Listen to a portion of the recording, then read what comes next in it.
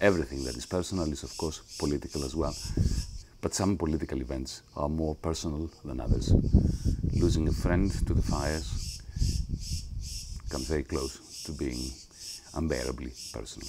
While Greece was burning during the summer of 2021, an irrepressible thought came to my mind. Where is the EU, the European Union? I tweeted that out of frustration. I received many angry messages by many Europhiles saying, What do you mean? There are German firefighters and there are nine aircraft that have been sent by various European countries to assist. But this is not the same thing. German solidarity, both of the German people and of the German government, Italian solidarity, British solidarity, Britain is not in the EU anymore, is everywhere and we are very glad for that, but that's not what I meant.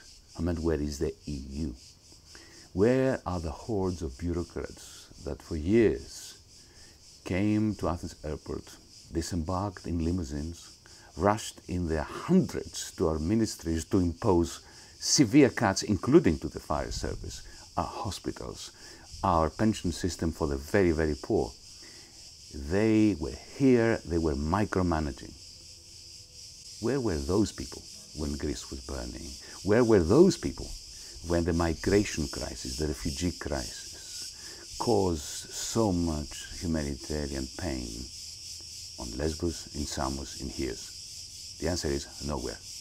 They only come to impose austerity, class war against the weakest of Europeans. So these fires of 2021 also reminded me of how easy it is to divide Europeans, setting us against one another, confusing Europeanism with um, a complete acceptance of everything our European Union bureaucrats do, which is usually detrimental to the interests of Europe.